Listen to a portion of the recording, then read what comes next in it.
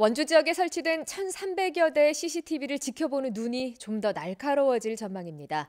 영상 속의 사건, 사고를 자동으로 인식해서 관제 요원에게 보여주는 지능형 선별 관제 시스템이 도입됐습니다. 조성식 기자입니다.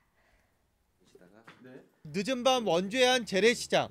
한 남성이 문을 닫은 점포 안으로 진입을 시도합니다. 여의치 않자 다른 점포들을 기웃거리다 출동한 경찰에 검거됐습니다. CCTV를 통해 남성의 행동을 살펴보던 관제 요원이 경찰에 신고한 것입니다. 하지만 9명의 관제 요원이 1,300여 대의 CCTV를 모두 볼 수는 없는 상황. 원주시가 관제 능력과 효율을 높이기 위해 지능형 선별 관제 시스템을 구축했습니다.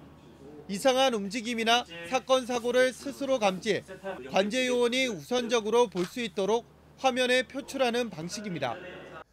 이번 시스템 도입으로 관제 요원 1인당 평균 120대의 CCTV를 모니터링하던 것이 5분의 1 수준인 24대까지 줄어들게 됩니다. 모든 카메라를 관제함으로써 사각지대를 없애고 관제 요원에게 선별된 관찰 대상을 제공해 신속한 판단과 조치가 가능할 전망입니다. 사건 사고에 신속히 대응하여 아, 시민들이 안심하고 어, 생활할 수 있는 환경이 조성될 것으로 기대하고요. 사건 사고 발생 빈도와 같은 아, 데이터가 수집되며 이를 통해 각종 도시 문제를 해결하는 또 지역별 시간대별로 사람과 차량의 움직임을 분석 저장함으로써 범죄 가능성 예측은 물론 상권 분석 등 다양한 분야의 정보가 활용될 것으로 기대됩니다.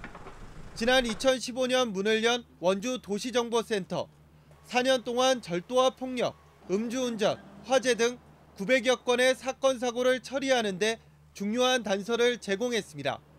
MBC 뉴스 조성식입니다.